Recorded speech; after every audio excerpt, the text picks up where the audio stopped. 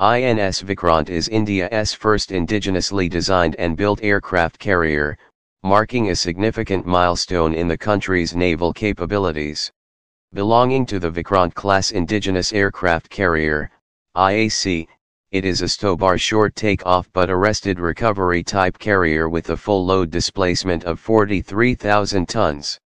The ship measures 262 meters in length and 62 meters in beam, capable of reaching speeds up to 28 knots with an operational range exceeding 7,500 nautical miles.